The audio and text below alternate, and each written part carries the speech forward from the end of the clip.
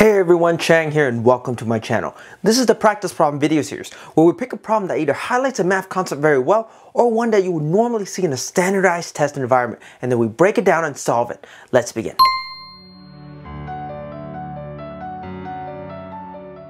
So for today's video, we're going to go over this problem. Now this is actually kind of a fun problem to work with.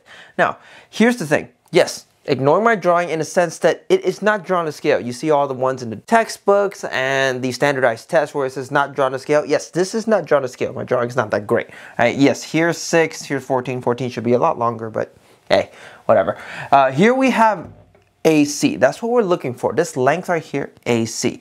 Now, in order to find that, we have 6, 14, and this hypotenuse right here, 30.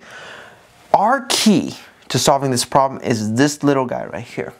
This tells us this entire triangle is a right triangle. Now, with right triangle, we have something special. It's the Pythagorean theorem, right? That tells us that a squared plus b squared equals c squared.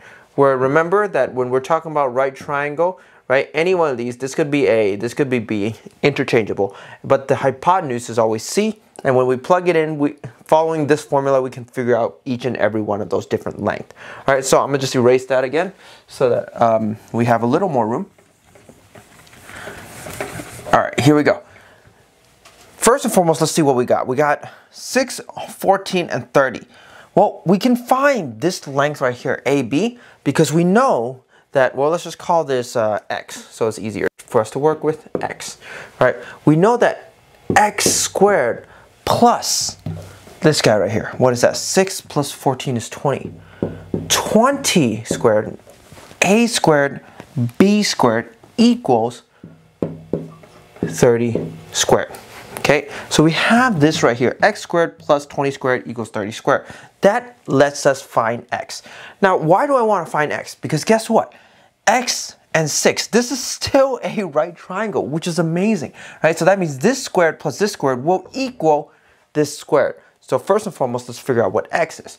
Well, in this case, what do we have?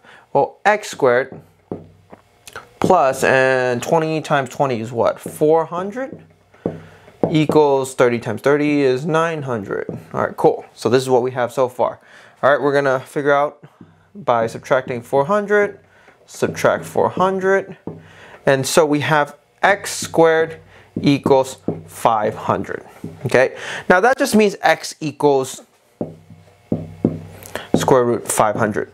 But in all honesty, this is not really necessary because since we don't really care about what x is, we're just trying to find what AC is.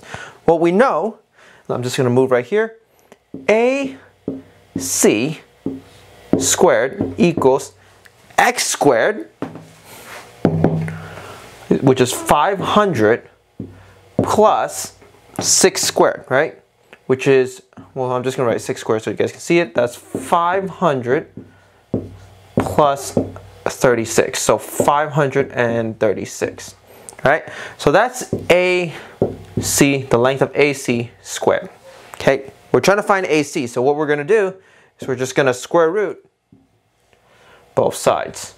So AC right here is just basically 500 and or square root of 536. And if it's in a standardized test and you have multiple choice, most likely they're going to ask you to simplify this in one way, shape, or form. And if you have a calculator, you can do that. But here's the key. If they have it in like a square root format and you're not sure exactly which one is equivalent to this, plug this in a calculator, figure out what that number is in a decimal, then go through each and every one of those multiple choice and figure out what they are in a decimal. If they're most likely going to be extremely, extremely close, if not exactly the same. In that case, you will know that is the correct answer. Thank you for watching this video. See you in the next one.